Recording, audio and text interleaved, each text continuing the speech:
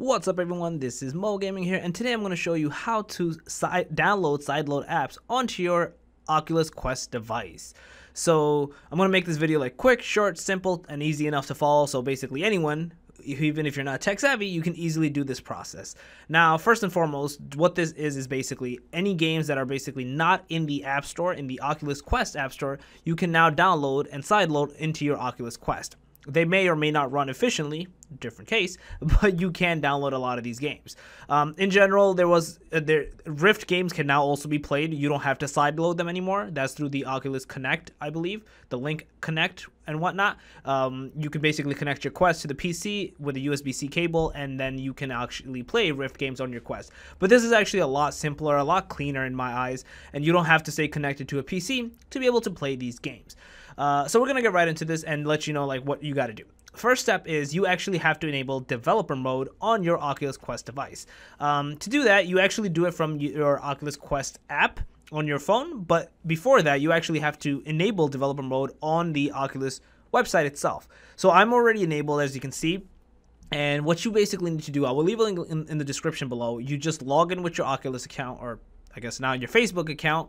And from there, it just says create a new organization. You click that, it asks you a few questions. You just populate it, that's it, and then you're essentially good to go. You have your own organization created, like I have. Mine says Moe Gaming.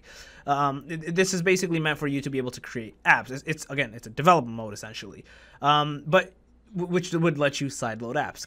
So you can play and test your apps before you publish it to the market. Um, essentially we're using that as like a trick around to basically sideload other apps into the oculus quest device.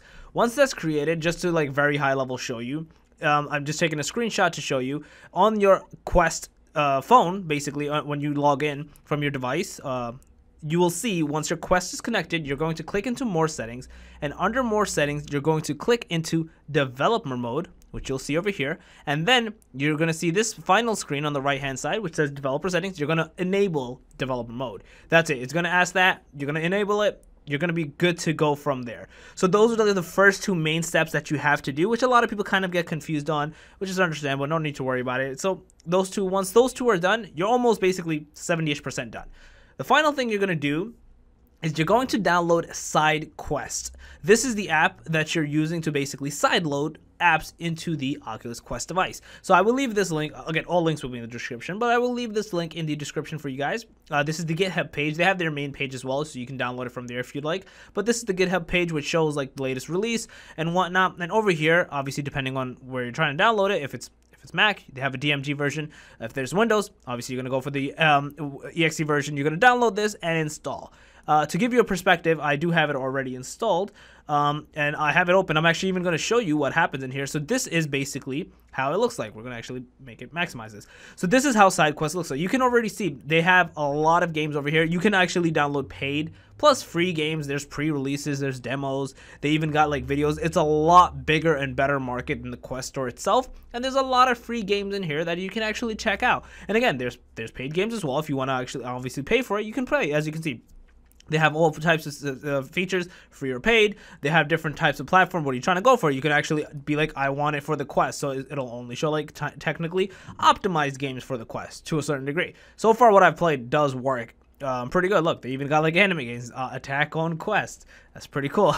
um, like I said, they have like all these different features. This is the link, which is what I was talking about for Oculus Quest. You can connect it directly to your PC and take it from there. Now, just to give you another perspective, as, as you saw, I chose uh, Oculus Quest. Um, let's just say, I'm trying to think. Uh, which game? Which game? Let's just do Attack on Quest. So let's say you're, like, you know what, this game looks cool. I just want to install this to my headset. This is what I want to play. So to download it directly from the uh, Quest, it's uh, like this app itself, you'll most likely get it either it'll either be on itch.io or another website, and it'll be zero dollars. They may ask for a tip, they may ask for like put like help them out on Patreon. If not, it might just straight up be installed to headset. So you're literally just gonna click that, and you're gonna be good to go from there. It'll just like as a notification, oh look, it's running that. As you can see, look, I just downloaded those two games. I had an APK that was installed as well. Um, you can actually install an APK from your computer as well. It'll just open up a a, page uh, where you can basically just download it from your computer itself.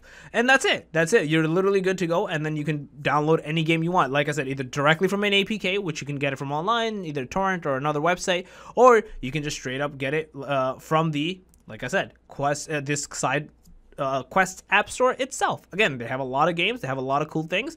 Um, I've checked out a few of them. I've played a few games. Some, oh, I feel like it's about to bug out. Uh, some games have worked fairly fine. Um, and the way you actually play the game itself is when you go to your Oculus Quest, you can either load the game from here directly, but obviously, if you want to play it outside of this, um, you're not going to see the games in your regular portfolio. You're going to have to, and I know it keeps changing with every update, but you're going to have to actually go to not um, I, I, believe it's not authorized sources or like unknown sources. So you're going to go into filter within your games. You're going to go from there and you're actually going to just click, yes, I want to see the not authorized or unknown sources. And then that's it. You click into that and you can basically then see all the games that were downloaded. You click into it, and boom, you're good to go. so that was it. Just wanted to make a quick, easy, simple tutorial for you guys to follow along how to basically download side quests and play like side load apps on your Oculus Quest device. Overall, again, it's a very cool feature. I've tried it multiple times. It works really well. I even tried like certain APK games. The only thing I mentioned, I would mention, like I believe I tried some Rift games as an APK and I downloaded it. It kind of did not work as efficient as I wanted it to, which is to a certain degree understandable. And this was not connected to a PC, so uh, playing it through the link system connected to the PC, it gives it a bit more processing power, I believe, from how I understand it, at least to my knowledge. So that kind of crashes it a tad bit less. But with this specific one, if you if you're playing it directly from the Quest, there's a very high possibility a lot of games may crash because of those um, specific reasonings that I just mentioned. Um, but yeah, aside from that, if you guys overall found this video helpful and informative, please please feel free to smash that like button. Helps a lot. If you are stuck on any part please let me know in the comment section below. I will try to help you out as much as i possibly can. And if you are new to the channel be sure to subscribe and click that notification bell other than that moe gaming out. Peace